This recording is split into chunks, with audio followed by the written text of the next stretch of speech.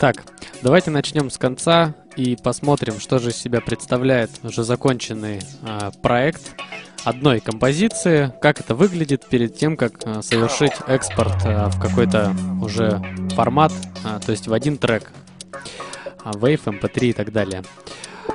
Трек выглядит вот таким вот образом, э, вся аранжировка выглядит. И в данном случае я пользовался программой Ableton Live 8 версии. Это так называемый секвенсор, то есть там, где происходит вся основная работа над композицией а, при создании ее с помощью компьютера. А, есть еще куча других замечательных профессиональных программ, но я выбрал эту, а, она мне нравится, я думаю, что она очень удобна, делаю по ней видео. В данном случае Слева здесь находится, справа точнее говоря, основные элементы управления каналами. Снизу находится информация об этих каналах. А, здесь находится браузер для работы с файлами. И в центре мы видим основное окно работы. А, подробнее о устройстве этой программы мы говорим на Звук.ру в различных уроках, э, курсах и так далее. Сейчас не будем на этом сильно останавливаться. А, сейчас мне бы хотелось обратить ваше внимание на то, что, как вы уже видите, создание какой-то а, более-менее насыщенной композиции это достаточно сложный процесс, и здесь используется очень-очень много различных, видите, каналов, каких-то мелочей и так далее. Причем здесь все еще не развернуто, то есть если мы начнем а, разворачивать некоторые вещи, то это еще больше все будет выглядеть. То есть при создании электронной музыки человек, который создает, выступает в роли э, мультимузыканта, сразу аранжировщика э, и звукорежиссера и так далее. Поэтому это усложняет все процессы. Конечно, это и придает определенный интерес всему, но и усложняет, как вы понимаете. То есть, если речь идет об игре в группе, в коллективе, в оркестре, то там каждый выполняет свою какую-то определенную функцию, и дальше ее обычно не выходит.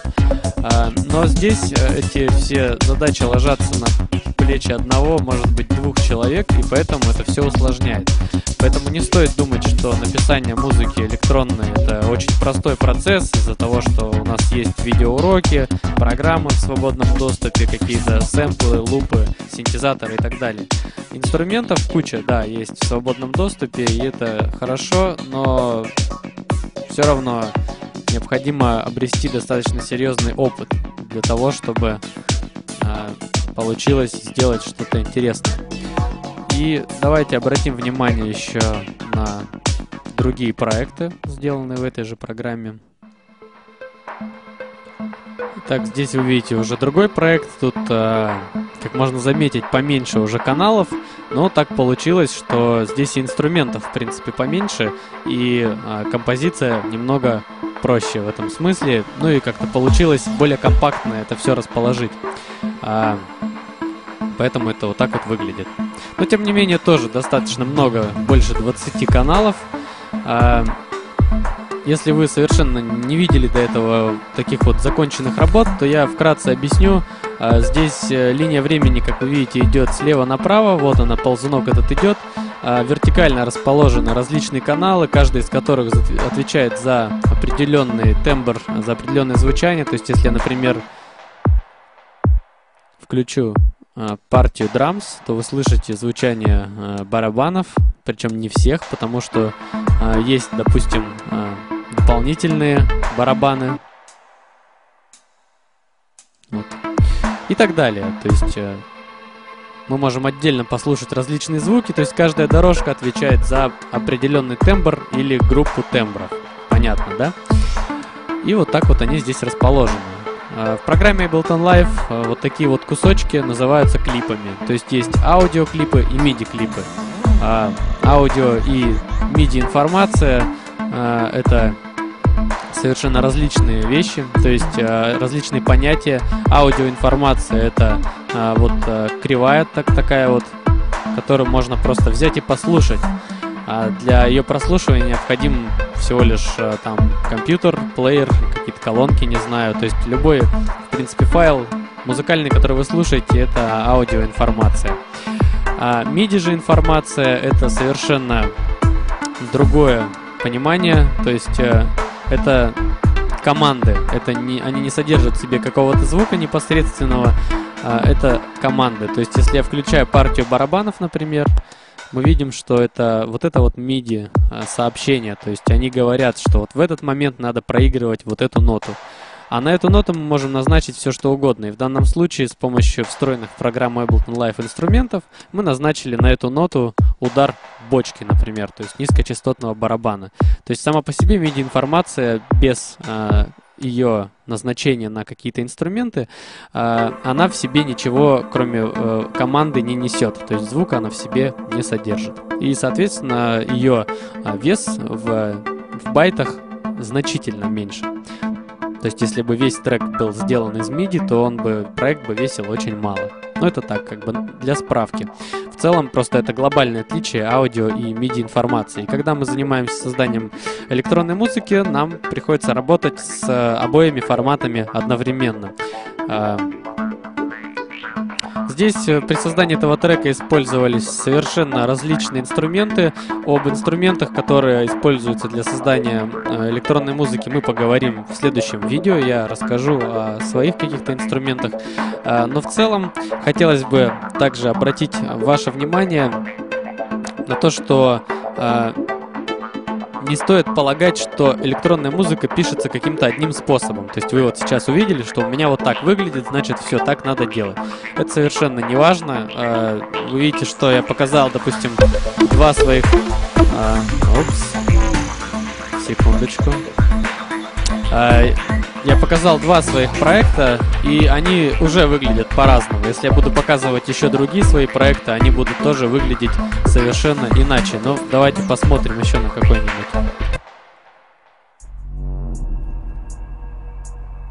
Здесь мы видим уже совершенно другой проект мой же, э, другая стилистика и немного другой подход там был при написании. Вот я разворачиваю все подгруппы, и здесь вы видите еще больше каналов, 42 канала, да, используется 41.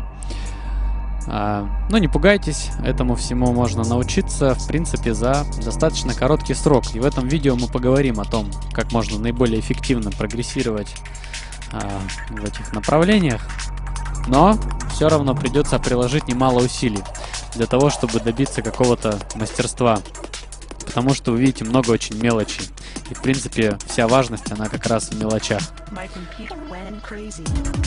Итак, а давайте я немного внесу ясность э, как бы в этот проект, который я показываю. Здесь есть несколько подгрупп. Э, есть подгруппа ударных, э, вот здесь более сложная, да, например, партия уже идет. Есть подгруппа вирус называется, это я использовал внешний синтезатор. А, сейчас он, а, вы видите, каналы деактивированы, потому что а, здесь было управление по MIDI, и когда я все уже согласовал все партии, я перевел это все в аудио, и теперь это лежит, вот эти зеленые дорожки, это как раз все с внешнего синтезатора, так сказать, bounce был произведен, то есть скидывание, перевод партии да, из MIDI в аудио, скидывание. Вот видите, то есть я записал все одной дорожкой, потом все тут подредактировал, какие-то места, которые мне захотелось э, немного изменить. Э, закрываем эту подгруппу, закрываем эту подгруппу. Идет подгруппа FX, э, то есть различные эффекты, э, атмосферы. Вот можно услышать.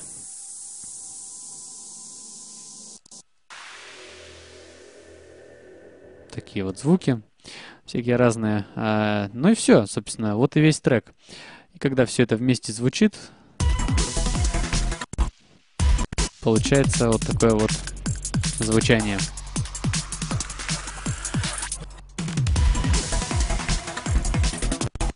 А, также присутствует а, мастер-канал, если вы не знаете, что это такое, это а, суммирующий канал, то есть на который поступают сигналы со всех этих каналов. Там тоже а, порой делается определенная обработка. Но об этом мы уже поговорим позже в видео об этапах работы над композицией.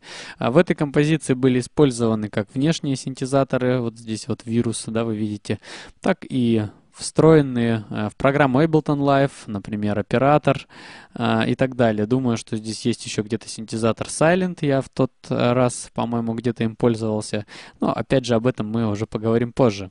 Основное ваше внимание хотелось бы сосредоточить э, на таком моменте еще раз, еще раз об этом э, сказать, что не стоит полагать, что э, музыка создается электронная одним способом. Вы видите, я вам показал уже три композиции, и в целом, хоть я их создавал и сам один, то все равно все это даже внешне как-то отличалось. Во-первых, это было создано в разные периоды времени, а, во-вторых, это разные стилистики какие-то, а, то есть а, Соответственно, если мы возьмем разных людей, то у них э, уже большие отличия будут в их аранжировках, э, организации самого проекта, подгруппы там. Э, то есть большая ошибка начинающих музыкантов, то, что они пытаются уловить, кто каким инструментом пользуется, для чего.